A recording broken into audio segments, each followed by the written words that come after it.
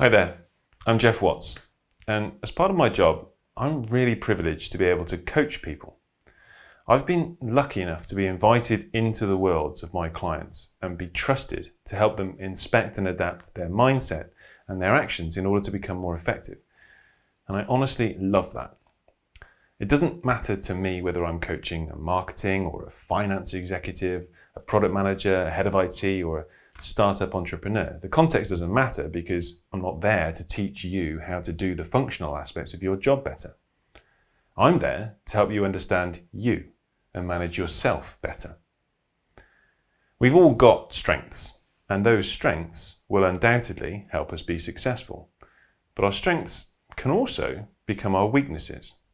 And my job is to help you become more aware of when your traits are working for you and when they aren't. And if they aren't, I can help you bring them back into balance. All of the traits that I come across in my coaching practice and the ones that we're going to cover here in this course are all positive and can potentially hold us back as well. A little element of perfectionism is a great thing, as is our propensity to be a people pleaser. And even imposter syndrome, something that many people experience, will actually play a part in your success.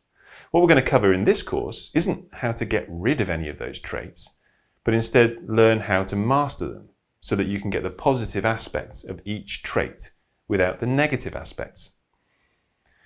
I've designed this course so that you can dip in and out of it if you want to, and you can focus on whatever trait stands out for you most of all, or you can go through them one at a time. Each of the sections, I'm going to explain where the trait comes from, give you some symptoms to look out for that can indicate that it's getting out of balance. I'll also explain how it can be helpful and how it can hold you back, and most importantly, what practically you can do about it. I'm going to share at least three practical techniques that you can use to practice strengthening yourself in that area. You can think of this course as a bit of a combination of some education around your psyche, some tailored professional development, and also some built-in coaching. And as well as the videos that you've got here, and you can take them at a time whenever it's convenient for you, you're also going to be invited to a learning community with myself and other learners on this course, where we can discuss what's going on and ask more deeper questions.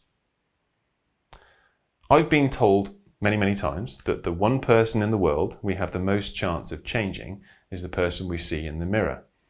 And when you join me on this course, I'm going to help you master the one person who has the biggest impact on your career, life, and overall happiness yourself.